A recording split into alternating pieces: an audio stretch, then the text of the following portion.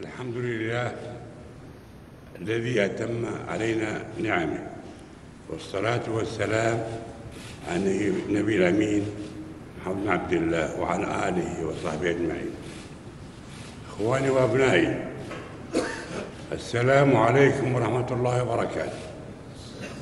أسعد اليوم بوجودي بين إخوتي وأبنائي في منطقة عزيزة وغالية على قلوبنا جميعا.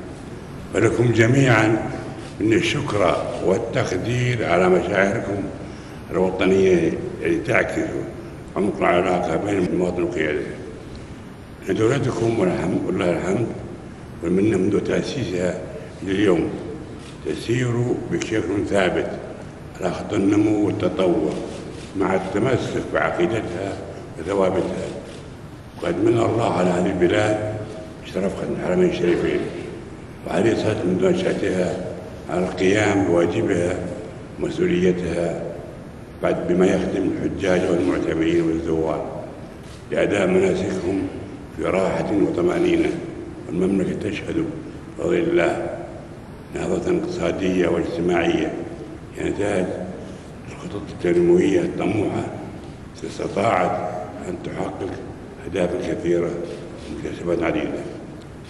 من رؤية المملكة 2030 تبنيناها تستهدف إعادة هيكلة اقتصاد الدولة ورفع دعم مؤسساتها وتنويع مصادرها الداخل ورفع المسار الداخل تشجيع هذا الدخل ورفع إنتاجية المجتمع وعلينا جميعا أن نعتني على إنجاحها أيها الأخوة والحضور إن الأمن في الأوطان من أجل النعم فلا تنمية ولا علم ولا حضارة أمن وينبغي الاستمرار في تكاتف الجهود في المحافظة على هذه النعمة والتوعية بأهميتها. وإننا على ثقة قدرات المواطن السعودي نعقد عليه. وعد الله عملا كبيرا في بناء وطنه والشعور المسؤولية تجاهه.